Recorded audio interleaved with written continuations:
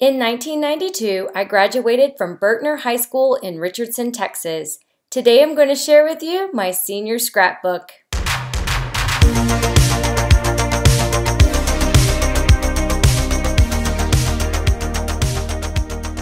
Here is a bumper sticker, I Heart Dancing. I also had this bumper sticker on the back of my car, which was a red Chevy Beretta. This envelope is just full of goodies. So let's take a look and see what's inside. Underneath you can see a bumper sticker for my favorite radio station, 94.5 The Edge, which was like the first alternative station in Dallas. That's the station I listened to in high school. First off, we have a whole bunch of Movie ticket stubs. Well, I don't know what this one is from. House sitter? Hmm, this says world. I bet it's Wayne's World. Cutting Edge?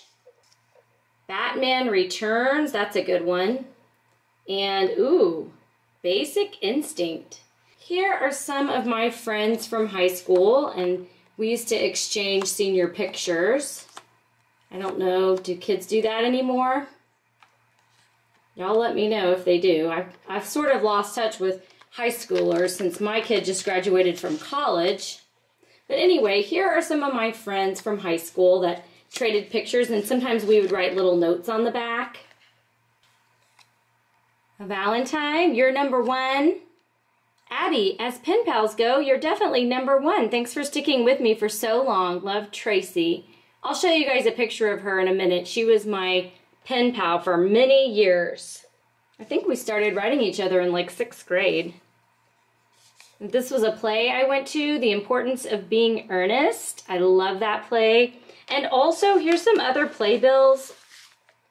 I used to love going to plays and musicals. It looks like I saw Cats and Starlight Express. That's a good one.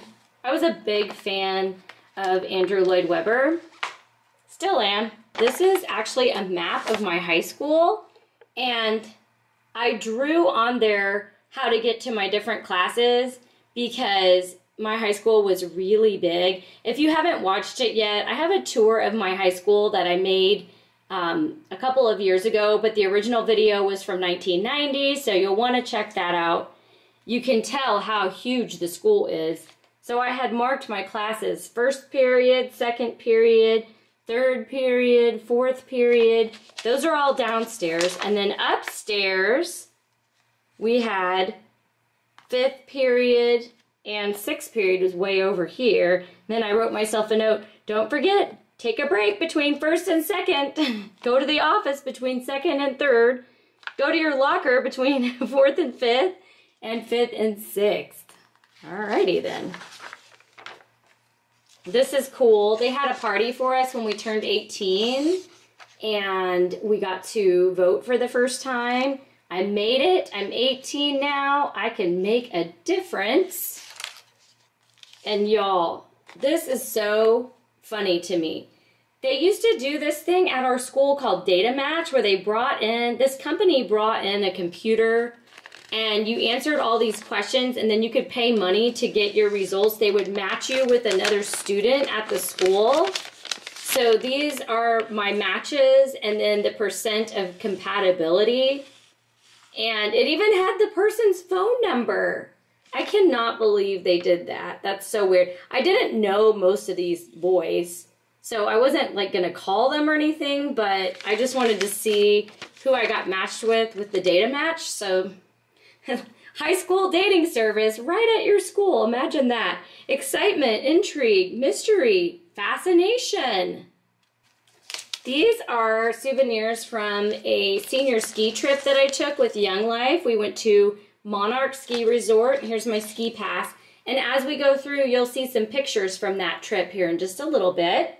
Here is the senior class from my church. I went to a really big church, the First Baptist Church. So these were all the seniors from our church class. There's me right in the middle, the front row there. This was an article in the school newspaper where they interviewed me. The Rampage. There was an audition with Oliver Stone for that movie JFK. And this was in 1991. And I had gone to the audition. And so I got interviewed for this article Students Audition for Motion Pictures. Spoiler alert, I'm not in that movie. I was supposed to be an extra and my day got rained out, so that sucked. Here's the football schedule for the year. Ooh, my report card. Got a couple B's in there, but all my final grades were A, straight A's. What is in this? Oh, this is prom, you guys. Invitation to prom. Here's my picture with me and my prom date, David. And here is the invitation. It's very fancy. The theme was Unforgettable, Saturday, May 16th, 1992. And look at that. I'd forgotten. It was at the Doubletree Inn in Campbell Center. And that was also used a lot in the show Dallas. So we ended up going there for one of our filming locations videos, but totally forgot my prom was there too. Isn't that funny the things we forget over time? Okay, let's get into this. Here we have the contents. And I love these pages where you write in things. And this one has like your hobbies. My hobbies were dancing, swimming, and crafts. Here's ninth grade, 10th grade, 11th grade, and my senior picture. This was my yearbook picture. They made us wear these sort of feathery boas. Do they still do that, guys? I don't even know. But that was how we did it back then. So our mascot was the Rams. These are my principals, and our colors were green and white. And apparently our class theme was we came, we saw, we conquered. That's funny. Here's some of my friends. This was my pen pal, Tracy, the one that sent me the Valentine. This is my cousin, my best friend. And this boy I dated briefly, and we were supposed to go and see Sting. We had tickets to see Sting, and Sting canceled. He had a sore throat, and he canceled his performance. But instead, he took me to the symphony, and I enjoyed that. It was really fun. My jobs, I worked at Miller's Outpost at Prestonwood Mall, and I also volunteered at North Dallas Pediatrics. And it says our hangout was Hunan's Chinese restaurant. That's pretty funny. I don't remember going there all that much, but I must have gone there enough that I li listed it as my hangout. Out of school activities, dancing, and church. And here's some pictures from dancing class. Here are a couple of pictures with, with some different boyfriends that I dated, and also this one is uh, Tracy again, my pen pal with her boyfriend.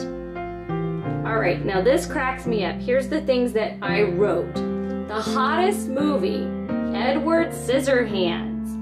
Most popular expression, shwing, dude, whatever, oh my god, and party on.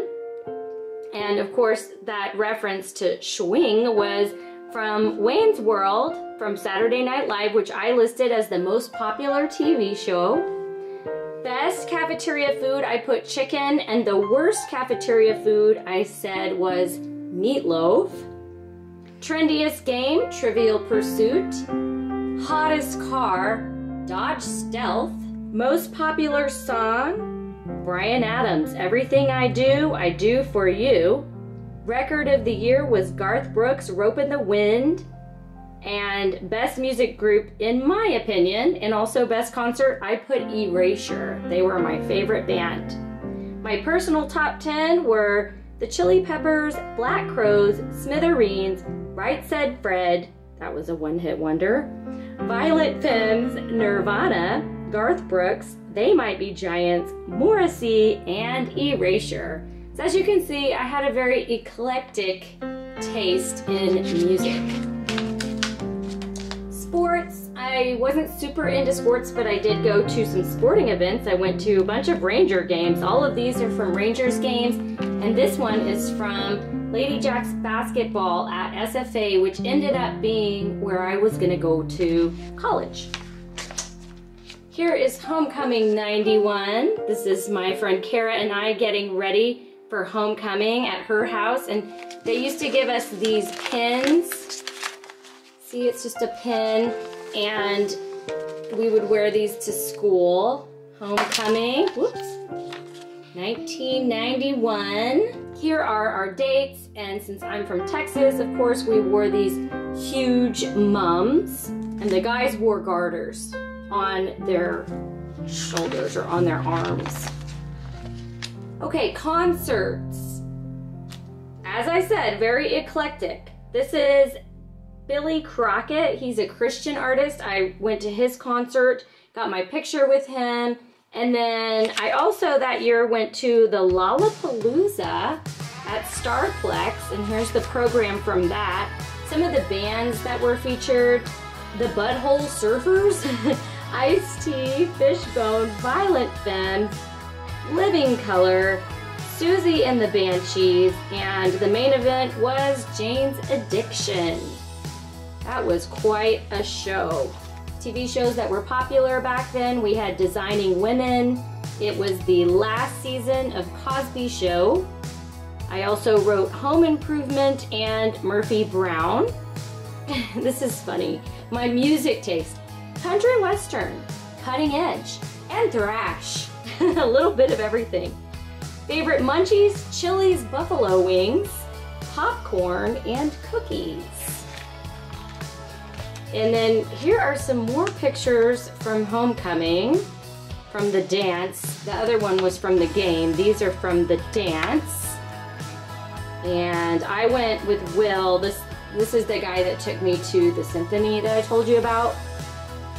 And then here are my friends. Uh, we went to the Arboretum. This is my friend Gretchen. Sadly, she passed away last year. And she's really my first friend who's died, so it was super sad. And this is our friend Colleen. All right, here are some of the prices that I wrote in the book for things like a hamburger. I said it was $1.50, jeans about $30, concert tickets $25. Wow, wouldn't that be nice? Slice of pizza for a dollar? And candy bars about 60 cents. Hot styles in fashion were mini skirts, short shorts, denim, sandals, Keds, leggings, boots, blazers, and of course, shoulder pads. So here is information about our homecoming, which I've already shown you pictures from that.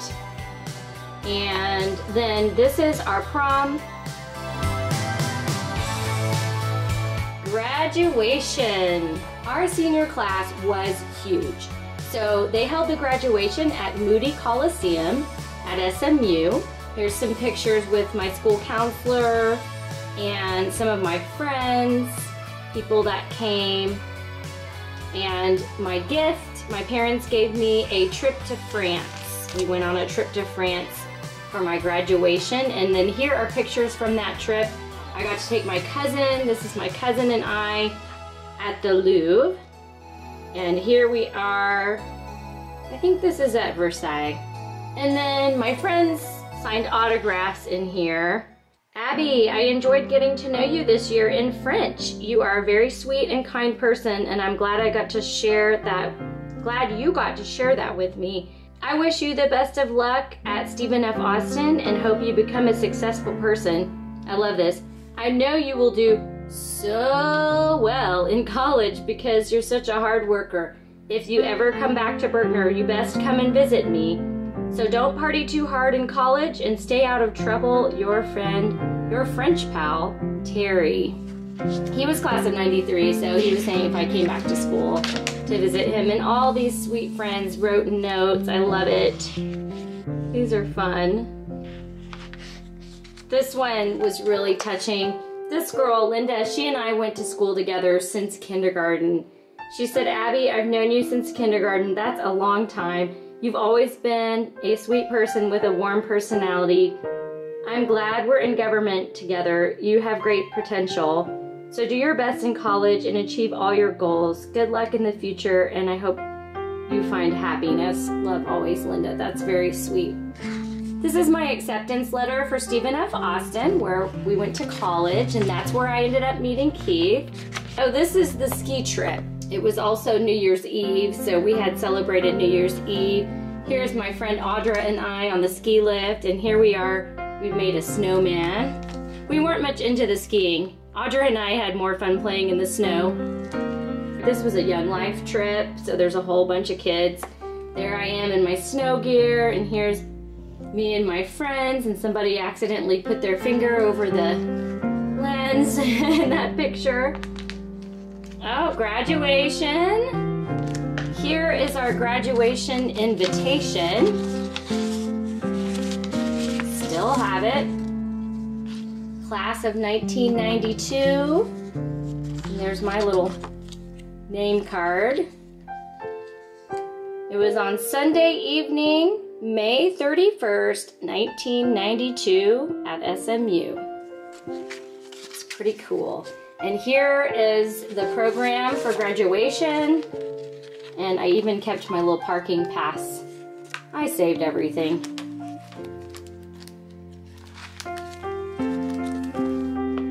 Some more graduation pictures with my mom and my friends. My family, my grandparents all came. This was our all-night party after graduation that was put on by the PTA. It was called Ram Jam. And it was kind of like a casino night. It was super fun. This is hilarious. This coupon entitles you to one free palm reading session. Not sure what's up with that, but apparently I didn't take them up on it. And here's some of my friends and I partying at Ram Jam. And that is the end of the book. I hope you guys enjoyed looking at my senior scrapbook from 1992. And if you haven't already, be sure to subscribe to our channel for more retro fun. And watch this video where I'll take you on a tour of my high school. See you next time!